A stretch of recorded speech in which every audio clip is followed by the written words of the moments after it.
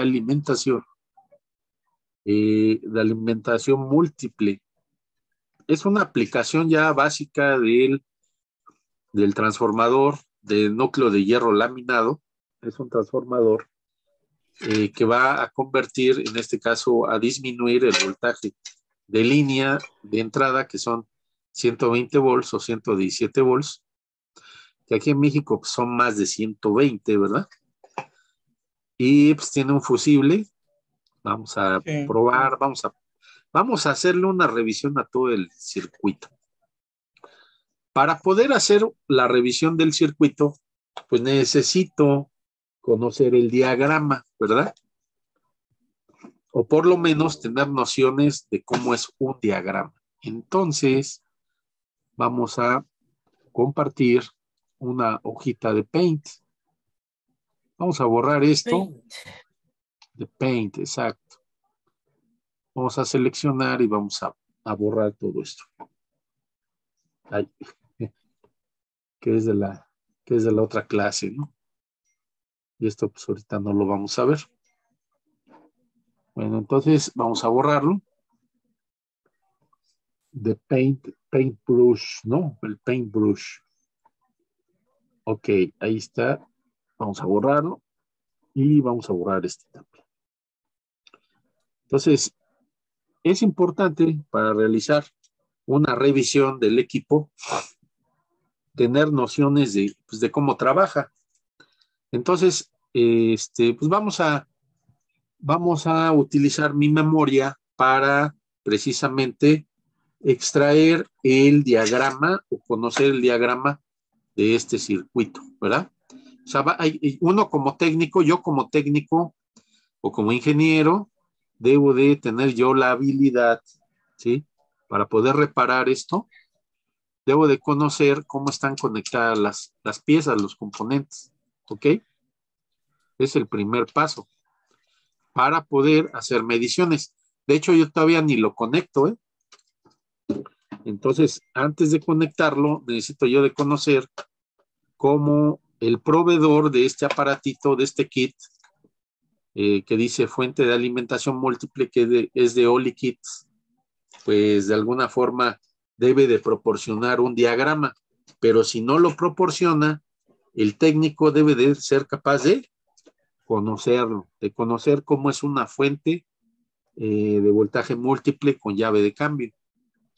Bueno, entonces vamos a dibujar aquí el diagrama. Entonces, esto, como siempre aquí comenzamos con una clavija, ¿sí? Una clavija que va a transportar los 120 volts. Esta clavijita pues va a tener asociado un pequeño fusible ¿sí? Y va hacia el primario del transformador. Todo esto pues va a trabajar con 120 volts, ¿no? De hecho, aquí podemos tener asociado un switch, ¿sí? Un pequeño switch, como lo estamos observando aquí. Entonces, tenemos un switch. Voy a dejar de compartir un switch, un polo, un tiro, que es este. Y tenemos el fusible. Aquí están las conexiones y tenemos el fusible. Aquí está el fusible. ¿Ok? Este es un portafusible y aquí está el fusible. Y este es el primario del transformador. Ahí está conectado. Por la parte de abajo se ven las conexiones del primario del transformador. ¿Ok? Hasta aquí, pues no debe de haber dudas, ¿verdad? Apagado y encendido, apagado y encendido. ¿Ok? Bueno, pues prácticamente ya llevamos la mitad del dibujito del, diagrama. ¿Sí? Esa es, esa habilidad propia del, pues, del técnico, ¿no? Entonces, este, el transformador, pues es un transformador que tiene múltiples, múltiples secundarios, o sea, varios secundarios. De hecho, este, aquí los cables que tiene de colores, ¿sí? Los cables que tiene aquí de colores, pues uno va a ser común y la llave de cambio va a ir activando cada uno de los, de los colores, por decir, el azul uno, el rojo dos, el verde 3, el blanco 4. Entonces estamos hablando de cuatro, cuatro posiciones de la llave de cambio. A ver, vamos a ver, aquí, aquí tengo 1, 2, 3, 4, 5.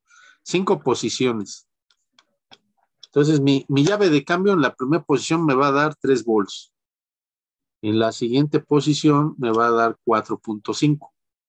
En la siguiente posición va a dar 6.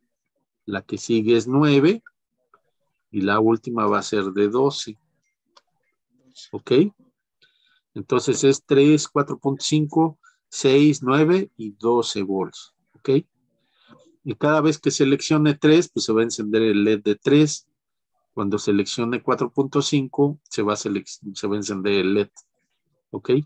Voy a tener LEDs de selección. Bueno, entonces, pues necesito tener yo la habilidad precisamente de ver cómo, cómo está conectado, ¿verdad?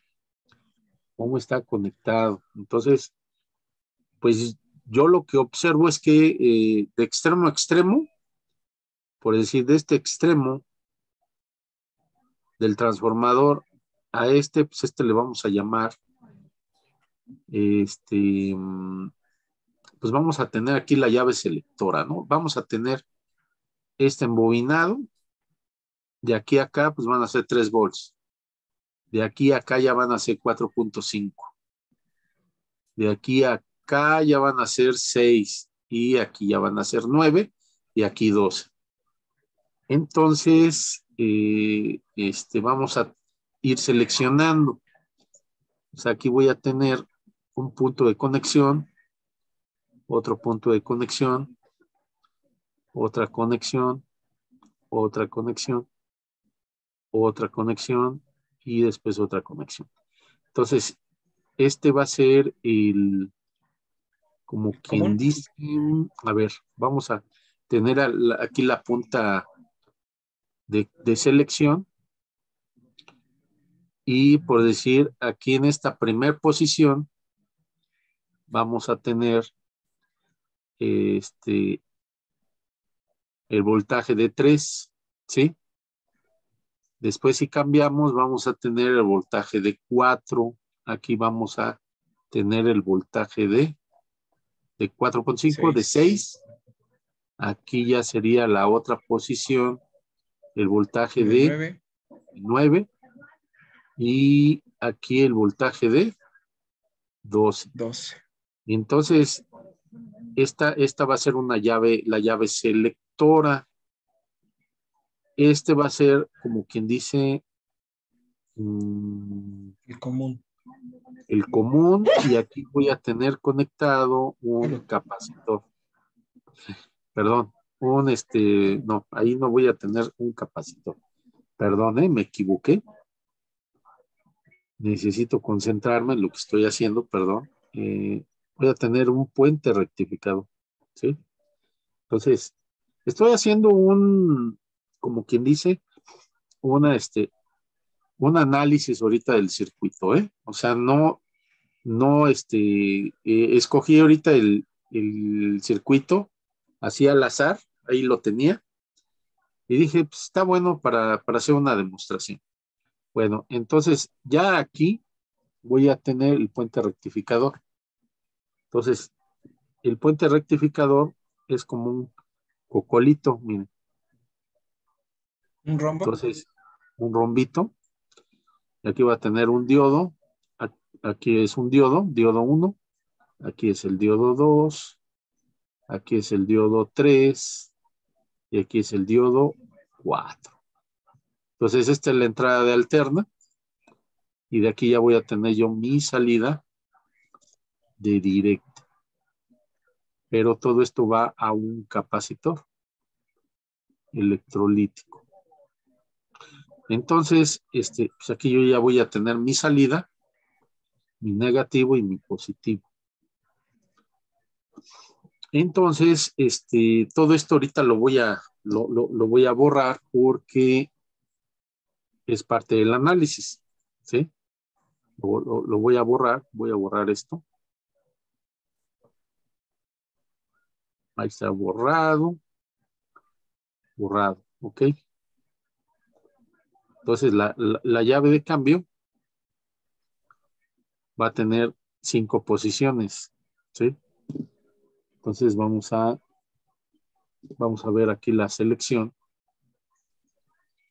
Vamos a, vamos a poner aquí, como quien dice, la llave de cambio. Esto es una llave rotativa de cambio.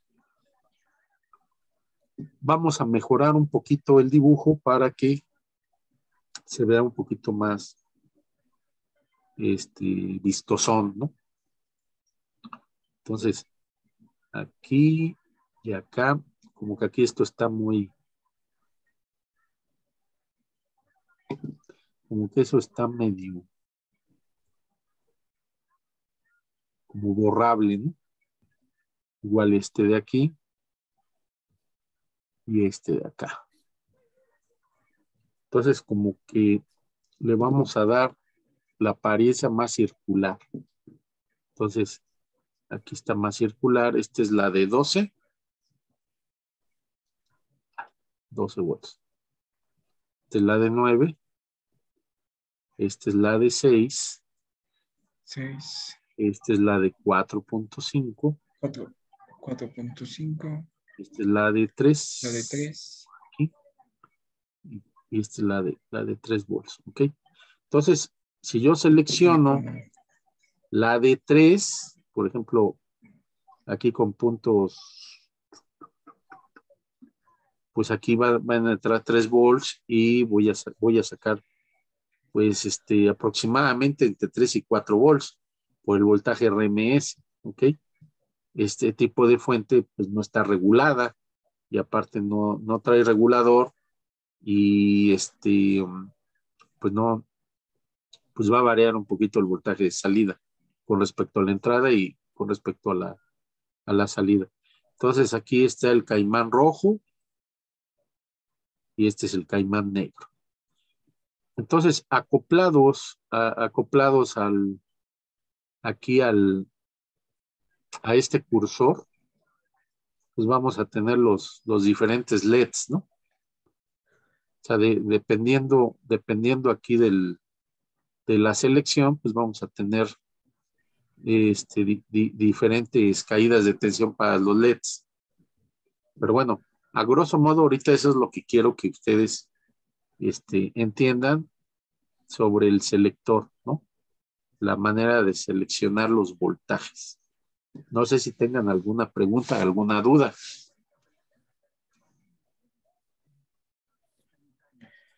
Eh, el, el mismo o sea, cada una de las conexiones va a dar ese tipo de voltaje. Eh, por ejemplo, si yo selecciono aquí, aquí van a ser 3 volts, pero RMS. Aquí ustedes saben que el capacitor se va a cargar al voltaje pico. Y, por ejemplo, aquí tendremos que multiplicar 3 por este 1.4142, ¿no? 41. Entonces aquí voy a tener este 3 por 4, 12 y llevo 1, 4.2 volts. Por ejemplo, en el de 4.5 volts, lo voy a multiplicar por 1.4142. Aquí, en lugar de tener 4.5, pues aproximadamente voy a tener 6. Y en el de 6, pues voy a multiplicar por 1.4142 es 6 por 4, 24. Llevo 2, 8.4. Y el de 9, teóricamente, estos son valores teóricos. Y en el de 9, siempre y cuando aquí tenga 120 volts. ¿eh? Si aquí tengo más voltaje, se va a inducir más voltaje en cada una de estas. Pero eso, eso es debido a que la fuente no está regulada. Entonces 9 por 1.41, 42 a que es igual. 9 por 4. 12.72. 12.6, ¿no? Aproximadamente. Y el de 12 por 1 por 1.41, 42, pues voy a tener 48, voy a tener como 16.8 volts. Por ahí. 16. ¿Ok? Entonces, eso es lo que espero este, revisar en esta, en esta fuente. ¿Ok? Bueno, vamos a, vamos a ver el procedimiento de revisión, no nada más de, esta, de este tipo de fuente, sino de cualquier aparato electrónico que llegue a nuestro taller, ¿sí? De reparaciones, puesto que el objetivo de ustedes, pues es reparar. Las primeras pruebas que vamos a hacer son pruebas con el equipo desenergizado, ¿sí? Ahí está la clavija, vamos a abrir el campo para que se vea un poquito más. Ahí está desenergizado. Y nuestra principal herramienta es el multímetro. ¿Sí? Multímetro. Para medir precisamente el voltaje. Aquí les voy a poner en este campo el voltaje. Vamos a, ver si se enfoca mejor así con más luz. Ahí está el voltaje, ¿no? Voltaje de, de corriente directa. A ver, déjenme ver dónde se ve mejor. O si con la luz, perdón. O si con la luz este, mejora. Ah, creo que sí mejora, ¿no? De hecho, ahí, ahí lo voy a recargar, ¿no? Ahí mejoró, ¿no? Sí. Bueno, ¿qué es lo que primero voy a revisar? Bueno, pues en primer lugar, que no tenga yo un cortocircuito en la entrada. ¿Cómo lo reviso? Bueno, con el probador de continuidad, es una prueba rápida. Entonces voy a checar la clavija y este, voy a, encender y apagar el equipo. Esto obviamente desenergizado, ¿verdad? en un, eh, observen que en una medición me da una cantidad en ohms, ¿verdad? 295 ohms. Y en la otra, open loop. ¿Eso a qué se debe?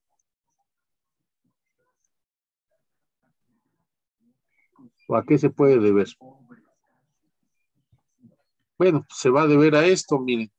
Ya que la clavija la estoy midiendo de aquí a acá y estoy encendiendo el equipo con el switch, la resistencia que se refleja es de 300, 300 ohms aproximadamente, miren. Ahí se ve, ¿no?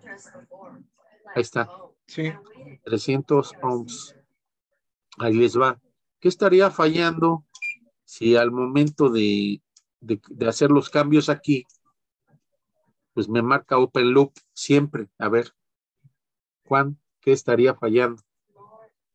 ¿O cuál es la...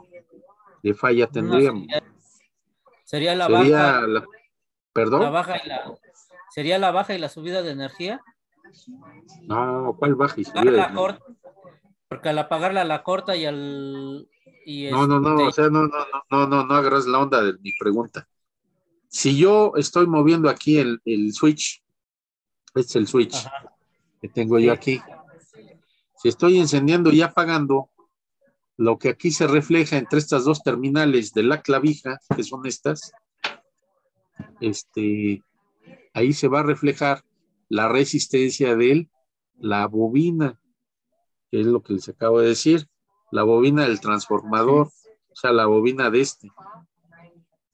Entonces, si yo, la pregunta es, si yo a pesar de mover esto, el multímetro, el multímetro me marca siempre, siempre open loop, ahorita no es el caso, porque en on, en encendido, me da 325 ohms, que es la resistencia, que es la resistencia de quién?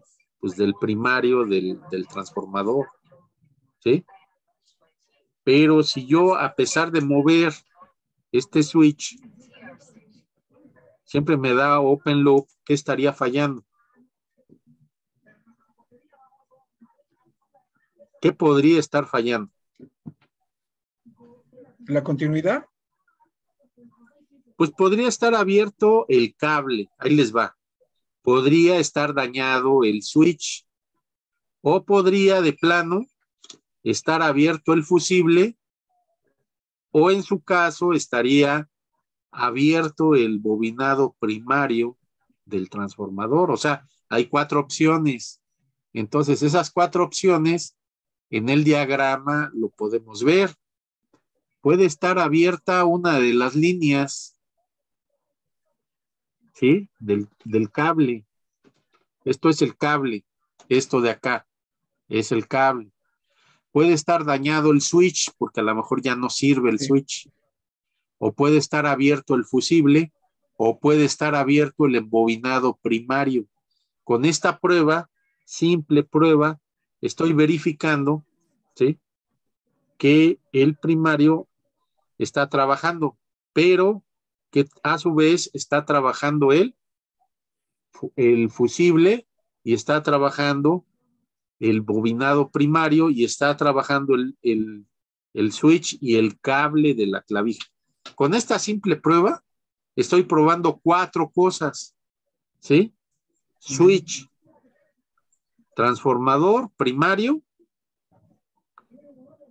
clavija y cable y fusible. ¿Ok? Ese es el poder que te da conocer la simbología electrónica, conocer los procesos de cada dispositivo, ¿sí? y de esa forma yo puedo diagnosticar rapidísimo un equipo. Esas son las técnicas, en eso se basa las técnicas de reparación. ¿Ok? Hasta aquí va todo bien. Vamos a verificar ahora con voltajes, a ratificar lo que les estoy diciendo. ¿Qué tendríamos que hacer? Bueno, tendríamos que verificar el voltaje en el primario del transformador, que sería medir de este punto a este otro. ¿Sí? Voltaje de corriente alterna, ¿ok? Hasta aquí no hay dudas, no hay preguntas. En este caso sí ya voy a conectar la línea. Ya voy a conectar la línea y voy a seleccionar el multímetro como volmetro de alterna. Entonces voy a conectar aquí voy a conectar acá. Y en efecto, el voltaje en el primario es de 120 127. 128. 127. Ya ven cómo varía. ¿Ok? Sí. Desconecto. Desconecto. Y ahora sí, me voy ya a revisar. Con esto ya confirmo que está entrando voltaje. Y que hay control sobre el voltaje. Porque ya revisé clavija, ya revisé fusible, ya revisé switch y revisé el primario del transformador y ya confirmé que llegan los 120 volts. 120 volts. ¿Ok?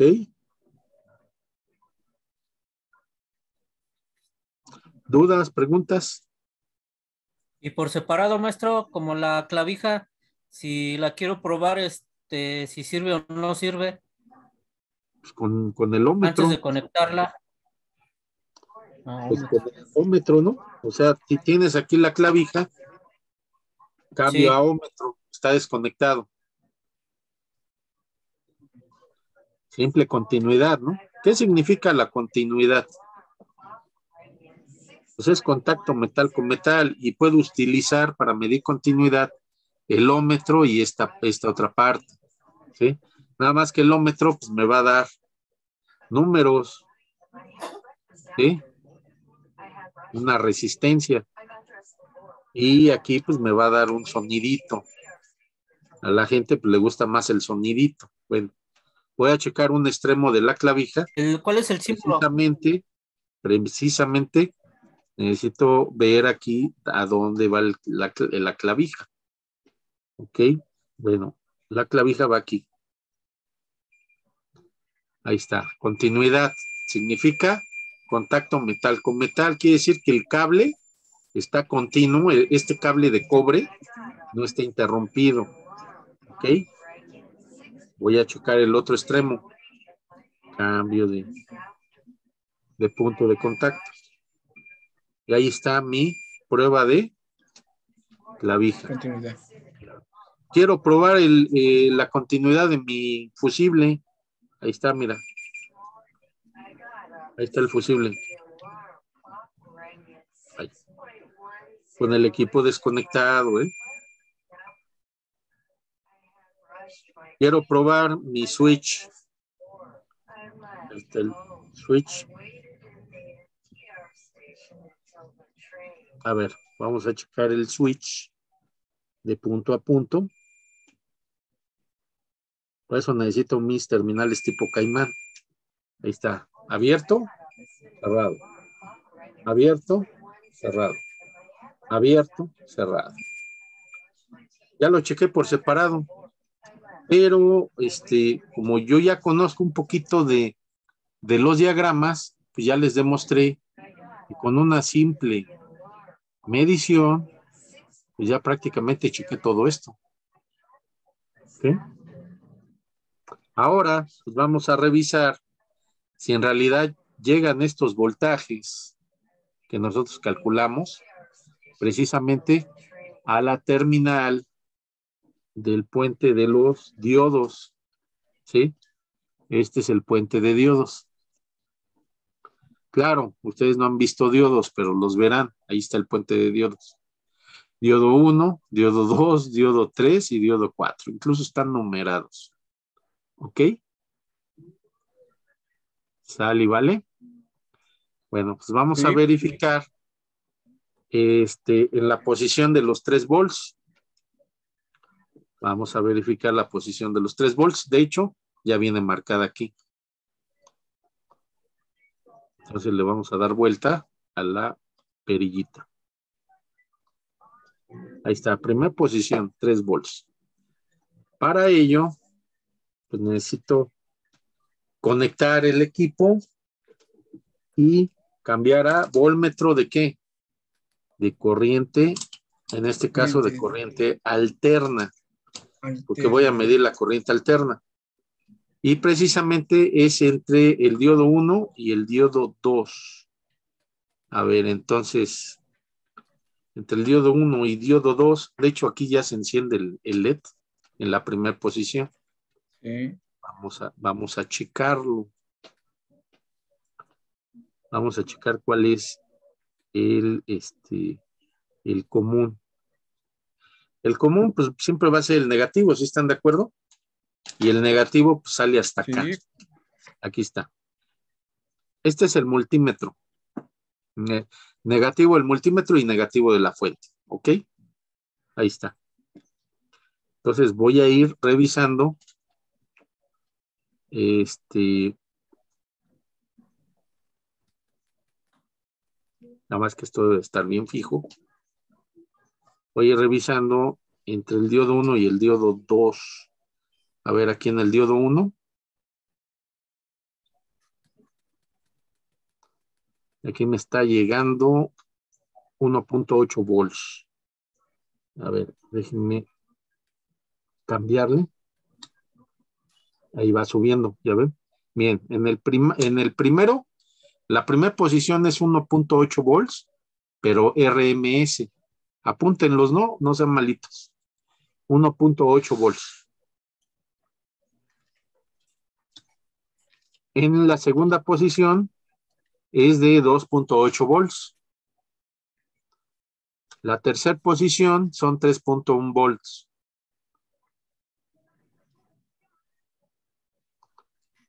La cuarta posición son 4.5.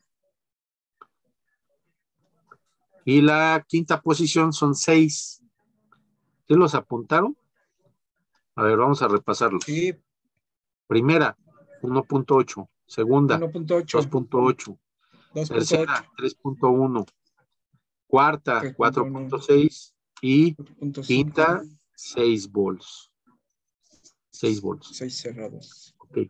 Bueno, esto, bueno, de alguna manera el fabricante tomó en cuenta esa situación que estábamos nosotros previendo en la en el esquema que hicimos, ¿sí?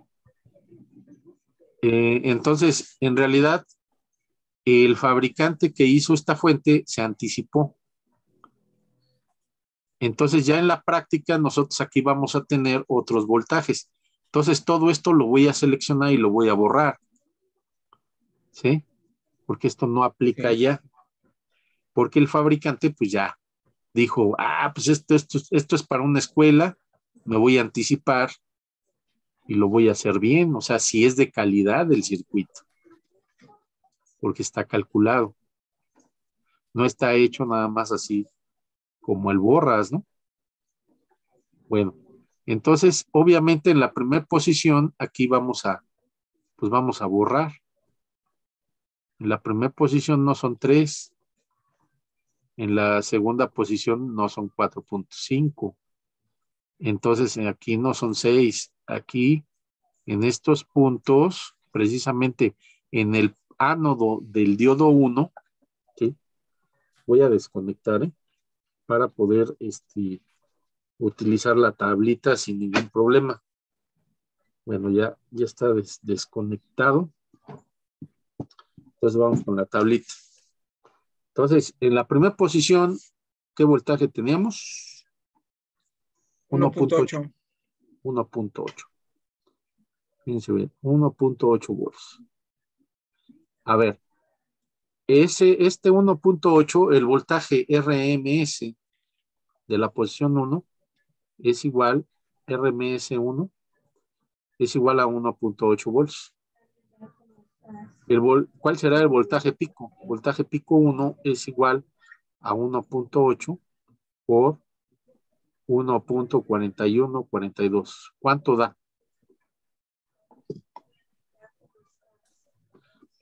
Saquen sus calculadoras. ¿Vale? 3.5. 2.5. No, 2.5. Sí. 2.5. Ok. Ok. El voltaje este RMS 2 era de 2.8. Aproximadamente. Entonces el voltaje pico 2 lo calculamos, ¿verdad? 2.8 por 1.41, 42, que es la raíz de 2, ¿no? Es la raíz de 2. 3.9. 3.9. O sea, está tomando en cuenta el capacitor. De hecho, en, en la realidad son dos capacitores en paralelo. ¿Qué pasa cuando tengo capacitores en paralelo?